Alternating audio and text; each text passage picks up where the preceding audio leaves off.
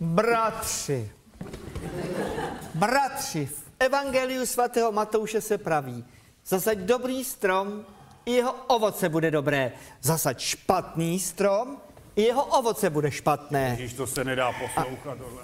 A já se táži, co je mým úkolem na této cestě? Zasadit strom. Je už po briefingu, doktore Ano, Žábo. ano. A já se táži, je správné, abych já, sadař boží, započal svoji misijní činnost v zahradě Ďáblově? Cyrile, prosím tě, co chceš říct?